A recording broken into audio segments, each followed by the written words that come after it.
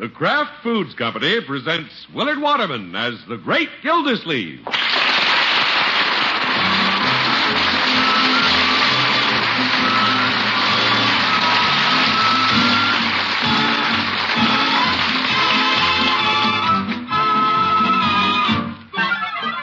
Great Gildersleeve is brought to you partially transcribed by the Kraft Foods Company. Kraft, makers of the one and only Miracle Whip salad dressing. We say one and only because there just isn't any other salad dressing like Miracle Whip. Miracle Whip is different, and it tastes different. Miracle Whip tastes so good it's become the most popular salad dressing ever created. More Miracle Whip is sold than the next 20 leading brands of salad dressing combined. Try it. Make your salads better tasting with the one and only Miracle Whip.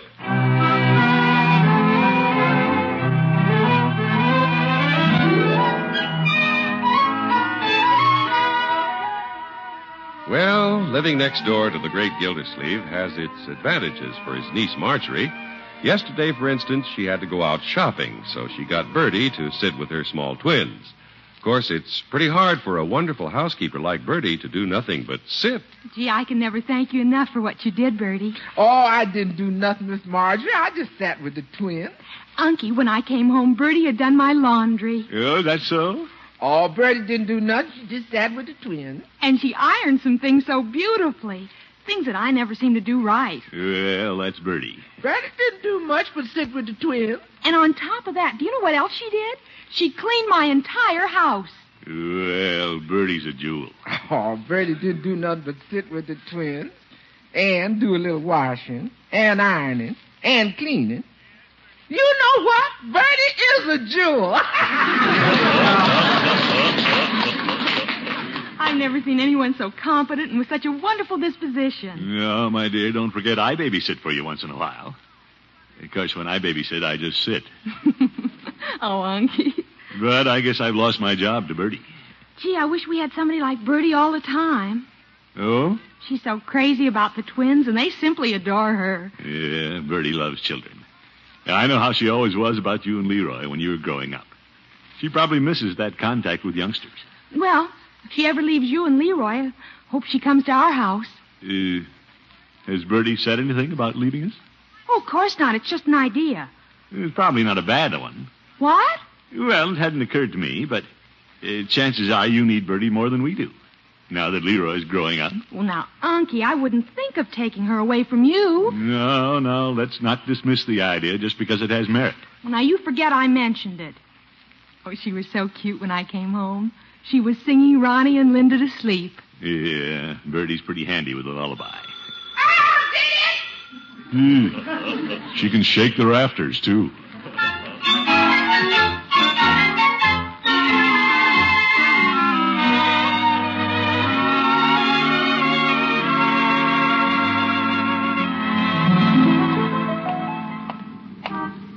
Right, George, I hadn't thought about Birdie going to Marjorie's until Marjorie mentioned it.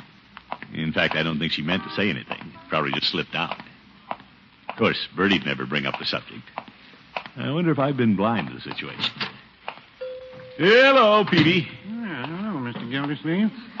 What can I do for you today? Peavey, I need a new shaving brush. Very well. I have some genuine badger bristles I haven't unpacked yet. I, I'll get 'em. What's that squeaking noise? That's my new shoes. I wondered if you had live badgers back there. Well, let's open the box and find out. Oh, my goodness. No, nothing in here but shaving brushes. I'll take one, Peavey. Very well, one badger brush it is. And I need some shaving cream. Very well, lather or brushless? What do you think? I just bought a brush. You don't have to get in the lather. that was a little witticism, Mr. Gildersleeve. Brush, lather. May I have my shaving cream? Mm, very. What a squeaky druggist. If you don't mind, Mr. Gildersleeve, I hear enough about those shoes at home. Oh? Mrs. Peavey was complaining about the squeak, and she mentioned it once too often. She did, huh? I said, Mrs. Peavey? That's what I call her when I'm miffed. What do you call her when things are sailing smoothly? I call her Mrs. Peavey. That way she can't tell whether I'm miffed or not. so I said, Mrs. Peavey, a woman may wear the pants in the family, but there's one thing she can't do. She can't wear a man's shoes. Uh, what'd you say to that, Petey? I didn't wait to hear. I squeaked right out of the house. Yeah, I'll bet you did. Will this be all, Mr. Gildersleeve? I guess so. oh, by the way, Marjorie was in yesterday. I, I don't see much of her. Well, the twins keep Marjorie pretty close to home. But things may be different soon. She may have Birdie. How's that? Marjorie let it slip that she'd like to have Birdie. And I suspect Birdie would like to be over there taking care of the twins. Well, that could be, but what would happen at your house? Well, it might be a little hard on Leroy, but he's a big boy now. Hmm, what about you? Well, I won't stand in the way, Peavey.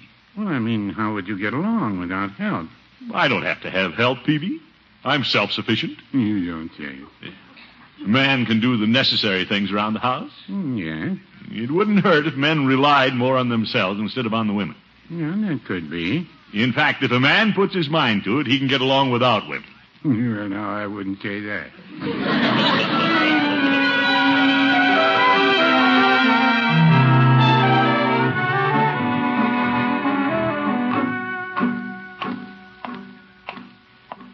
Right, George, I think I'll talk to Leroy about this thing. Of course, we have Birdie to consider. And I'm sure she'd like to go over to Marjorie's. Oh, can't you find them? Birdie, I'm home. Yes, ma'am. Yes, ma'am. Oh, she's on the phone. I put them in the top bureau drawer in the twins' room. Uh-oh. She's talking to Marjorie. Oh, don't mention it, Miss Marjorie. I had just the most wonderful time over there yesterday. That little Ronnie is so cute. you let me know when you want me over there again, and Birdie will come a running. Well, this is as good time as any to have that talk with Leroy. Yes, ma'am. Yep. Yeah. Pretty obvious to me now. Birdie belongs at Marjorie's. Leroy! Yeah? Where are you? Round the corner of the house, cutting the lawn. I don't hear the lawnmower. I'm resting. Uh, Well, I'd like to have a little talk with you. Yeah? Yeah, I think I'll sit down beside you, my boy. Why don't you sit on the grass? On the grass? Yeah, that'll flatten it out and I won't have so much to mow. Darn grass. You knock yourself out watering it to make it grow and then knock yourself out cutting it down again. Does that make sense? well, it doesn't the way you put it. When I grow up, I'm going to become a naturalized Eskimo. Eskimo, huh? Live in an igloo and fish through a hole in my front yard. That'll be the life. Yes, yes. No lawn to mow in the summer, no ashes to haul in the winter. Just poke 'em down the hole. Leroy, let's be serious a minute. Okay. What do you want to talk to me about, Unc? My boy, how would you feel about Birdie going over to Marjorie's? Well, she's over there half the time now. You know, I mean, moving over there is a permanent thing. Yeah? How permanent? As long as she wants to stay. Forever. Oh, gosh, what would we do? We could manage. I wouldn't know how to get along without Birdie. Well, I know she practically raised you. But the twins need her now. Oh, so they're behind this. Leroy, this is my idea. Yeah? Well, I better not say what I'm thinking. My boy, it's always difficult to accept change, but we're men now. You and I can have a lot of fun together. How? Well, Cooking over a hot stove? we'd eat out a lot. You always like to go out for dinner. Sometimes we go out for breakfast, lunch, and dinner. Yeah? Oh, boy, I'd have chocolate sodas for breakfast. what a way to start the day. Well, naturally, we couldn't eat out all the time. Once in a while, we'd eat at home. How about the cleaning? How about the dusting, and the sweeping? Who's going to clean this big old house? Leroy, it isn't so big. Looks pretty big all of a sudden. Well, we really wouldn't need a place this size. We might rent it and take an apartment and make money on the deal. And raise my allowance? Uh, anything is possible. What do you think, my boy? Well, In an apartment, you wouldn't have any grass to cut. you sold me. Good. Let's go talk to Birdie.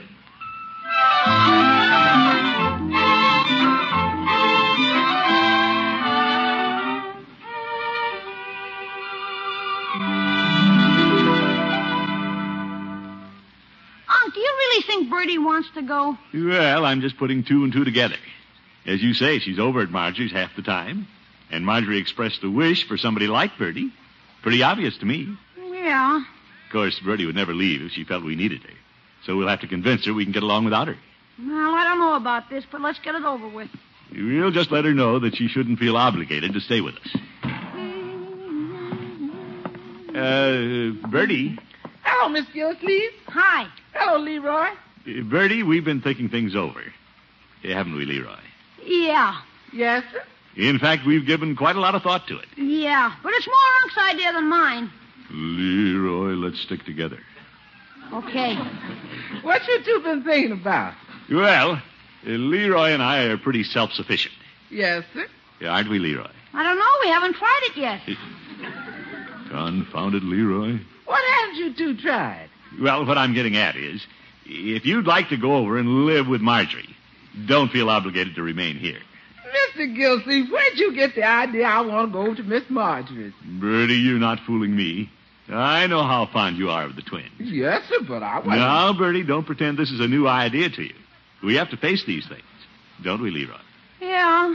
But, Mr. Gilsey, what would you and Leroy do? Oh, don't worry about us, Birdie. Leroy and I are perfectly independent. Yes.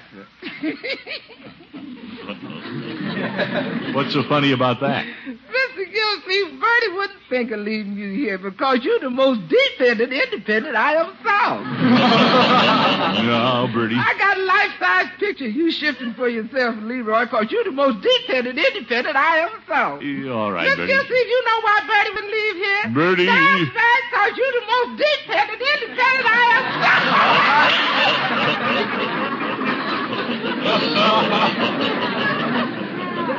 Gee, Birdie's hard to budge.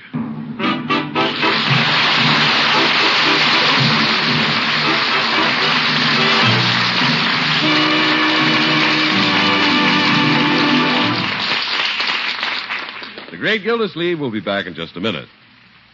You good cooks wouldn't dream of making your favorite cake from that prized recipe of yours and then spoiling the results by frosting it with anything less than your best frosting, would you? And neither would you want to fix a luscious salad and use just any salad dressing on it. You want the finest salad dressing, one that'll add to the goodness of your salad, make it even more delicious. That's why so many good cooks insist on Miracle Whip salad dressing.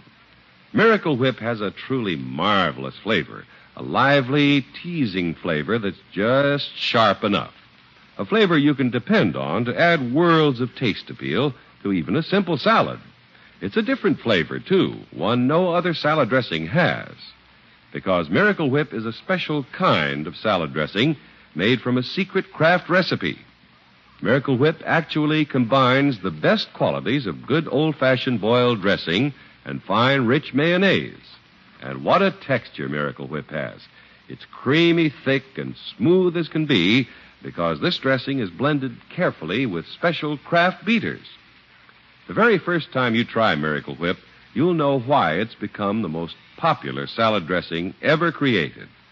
Why it outsells the next 20 leading brands of salad dressing combined. Get a jar of smooth, delicious Miracle Whip from your grocer tomorrow and enjoy a summerful of the most wonderful salads you've ever tasted. Salads made with the one and only Miracle Whip salad dressing.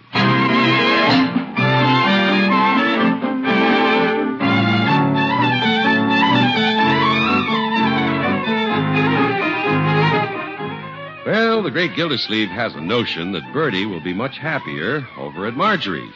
He gave her a gentle push in that direction and became a little miffed when Birdie laughed at the idea. But our water commissioner is still determined to make the sacrifice. I'll have to be a little more firm about this, Leroy.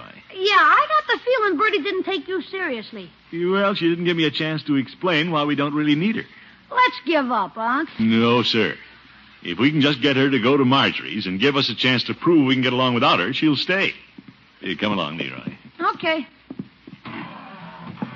Uh, Birdie, Yes, sir? What's this delegation up to now? uh, we've been thinking about this thing. You've been thinking again? Yeah. And it isn't very flattering to have you feel that we can't shift for ourselves. No, sir. And, uh, uh, well, I'd like to suggest that you go on over to Marjorie's and Leroy and I'll surprise you. Mr. Gilsleeve, Miss Marjorie always calls me if she wants me. Well, I I know that's what she says. But why don't you just run over there and leave things here to Leroy and me? Birdie, this is a serious matter. Frankly, we plan to rent this house to somebody. Rent this house? It's a little large for Leroy and me. We plan to take a small apartment. You do? You see, things are different now, Birdie. Yes, sir. Leroy's growing up, and we don't really need you. Eh, Well, the way Marjorie does. No, sir. She'll be delighted to have you, and you'll be happy over there with the twins, won't she, Leroy? Yeah. And once the move is made, everybody will realize it's all for the best. If you say so, Mr. Gilsleeve. Sure. Give it a try, Birdie. Start this afternoon. This afternoon? Why not? It'll be a wonderful surprise for Marjorie. Mr. Gilsleeve, I ain't done all my work over here yet. Never mind that, Birdie. And who's going to fix your lunch? You or Leroy? Well, Peavey, I guess. Come on, Leroy.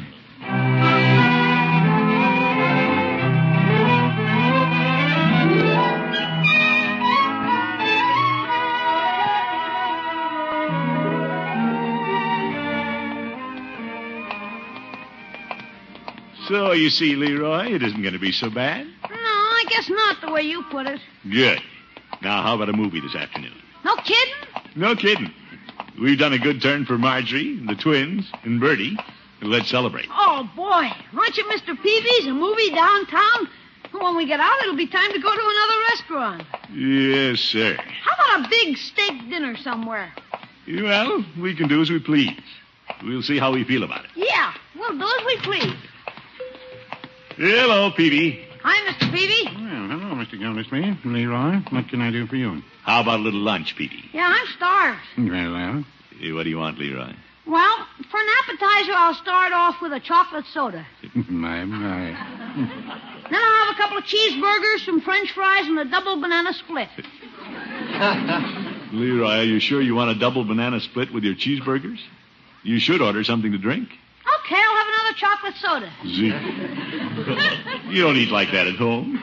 Birdie would never approve. Heck, Birdie's gone to Margins. Uh, Birdie made the move, did she? Yeah, but it was hard to convince her that Leroy and I could get along alone. It doesn't look like you're getting along alone. What? You're getting along with the help of Peavey's soda fountain.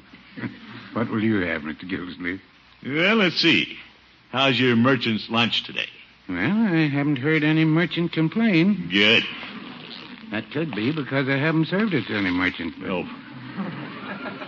You make it three cheeseburgers, Peavey. Very well. What will you have to drink, Mr. Gildersleeve? Well, when I'm at a fountain, I'm always tempted to have a malted milk. Vanilla, please. Very well. Uh, by the way, the price on malted is a little misleading. Oh? They're 35 cents now instead of 30. Peavey, why don't you change the price on your menu? Well, if they don't move at 35, I'll just have to change it back to 30 again. Uh, eating lunch out is pretty expensive, Leroy. Yeah? We've ordered $2.45 worth already. And don't forget 8 cents for the governor. Yes, yes. Yeah, this is going to mount up. And dinners are more expensive than lunches. Hey, where are we going to eat dinner, Unc? At home.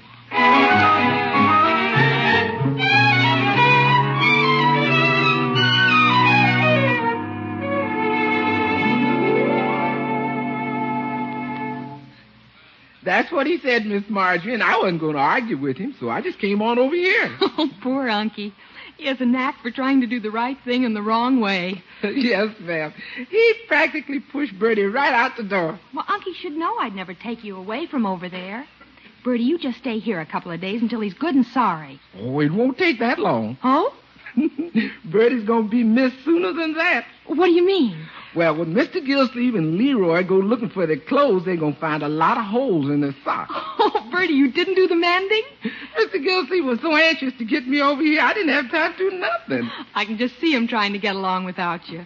Miss Marjorie, who do you suppose is going to sew on them buttons when they fall off? I can't see Unky or Leroy doing it. No, ma'am. They're going to be a couple of bachelors without buttons.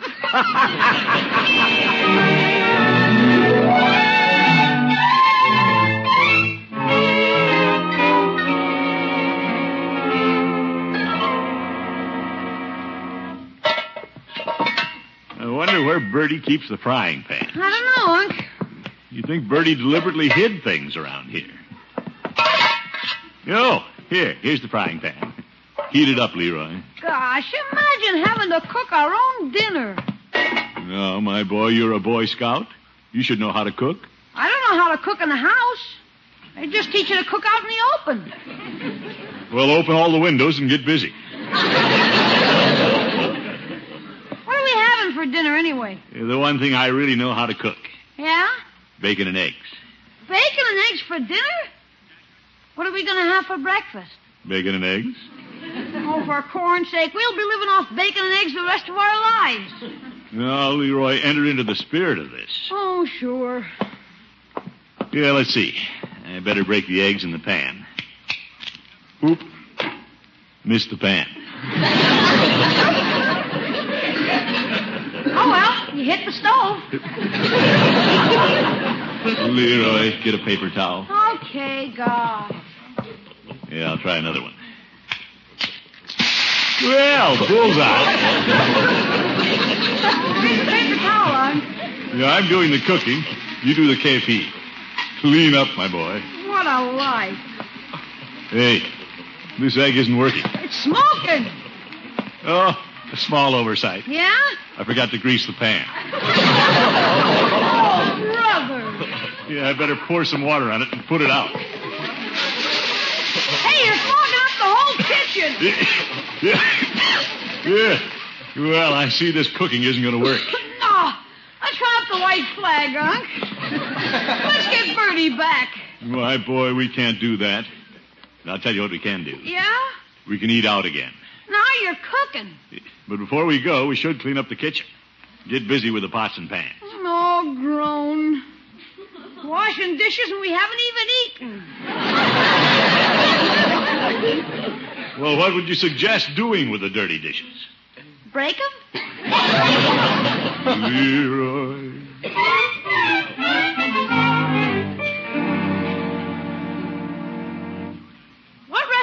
We go to, Unc? Well, we won't go to any if I don't find a clean shirt with all the buttons on it. Hey, what goes here? Huh? I just put on a pair of socks and both my big toes are looking up at me. Toes, huh? This isn't like Bert. Birdie! Oh, I forgot. I haven't. Who's going to mend our clothes, Unc? Well, When you come home tomorrow, you better bring a darning needle and a gourd. uh, you have an idea there. At the dime store, they sell little darning kits. Oh, fine. We can sit mending our clothes while watching television. Oh, Unc, do you realize we're going to have to go through this every day? not necessarily. When we look for our little apartment, we'll try to find one with maid service. Gosh, I'd kind of forgotten about moving. Well, that's one of the things you were looking forward to, my boy. The apartment. No grass to mow, remember? Well, if we take an apartment, we'll be moving out of this neighborhood, won't we? Well, yes. Uh, let's go to dinner. We'll be farther away from Marge and Bronco and the twins and, Birdie. Yeah, that's right. Get your coat, my boy. I don't think I want any dinner. You don't want any dinner?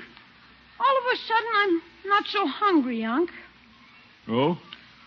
All of a sudden, I don't feel so good. I think I'll go to bed. Leroy, what's the matter? I, I sort of got a chill. Will you climb into bed? I'll get the hot water bottle. Okay. Well, let's see. Where is the hot water bottle? Yeah. Yeah, here we are. Luckily, the water's good and hot. How do you feel now, Leroy? Not so good. Worse. Hmm, better hurry. Here. Here, my boy. Put this in bed with you. Okay, but I doubt if it'll help. Maybe we ought to call Birdie, Unc. You think so? Where do you hurt? Well, let me see. Uh, kind of all over, I guess. I got chills, spots before my eyes. I'm dizzy and sort of trembly. Oh, my goodness. Stay where you are, Leroy. Don't move. Oh, Birdie!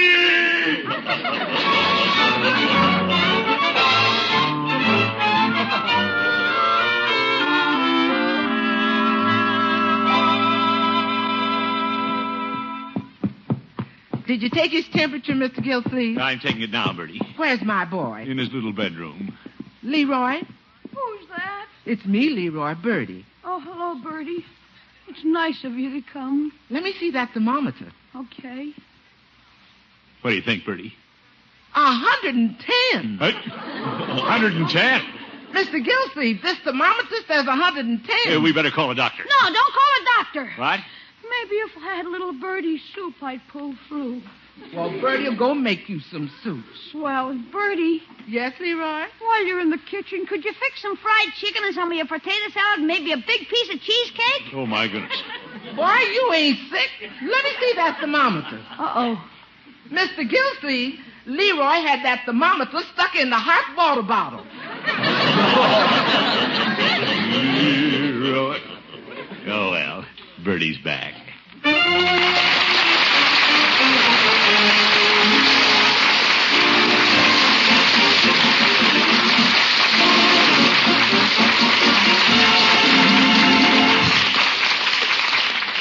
The great Gildersleeve will be with us again in just 30 seconds. Mmm, there's just nothing like good potato salad. And there's nothing for good potato salad like Miracle Whip salad dressing. Just try it. See what a wonderful peppy flavor Miracle Whip gives that salad. It's a different flavor, one no other salad dressing has. See for yourself how delicious Miracle Whip is in potato salad and on gelatin salads, fruit salads, and meat and seafood salads, too. Get it tomorrow, the one and only Miracle Whip salad dressing.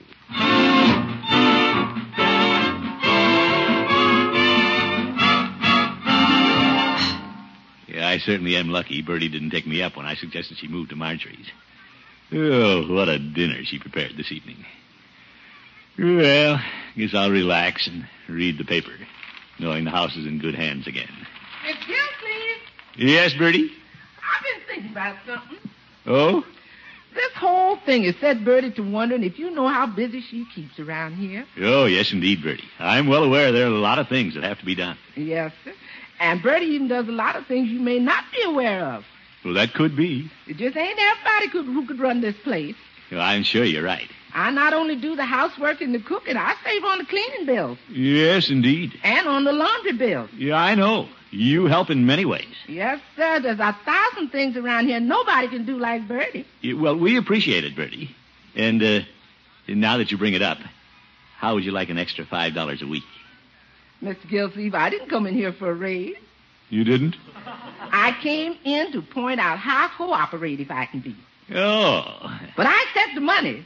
Birdie will cooperate that, too. Oh, well, she's worth it. Good night, folks.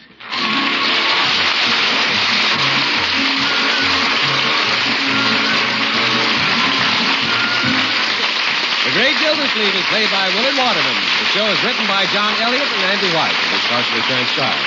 Included in the cast are Walter Tetley, Lillian Randolph, Mary Lee Robb, and Dick LeGrand. Musical compositions by Jack Meakin. This is John Heaston saying goodnight for the Kraft Foods Company, makers of the famous line of Kraft quality food products. Be sure to listen in next week and every week throughout the summer for the further adventures of the Great Gildersleeve.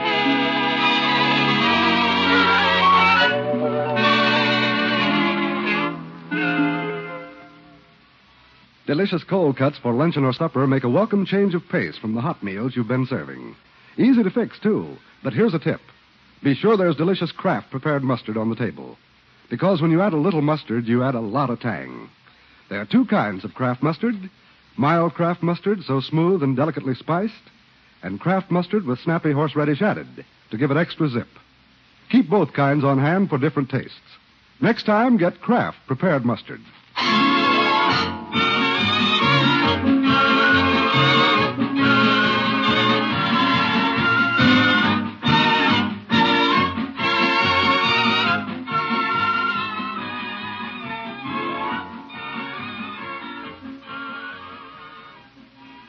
Tonight, play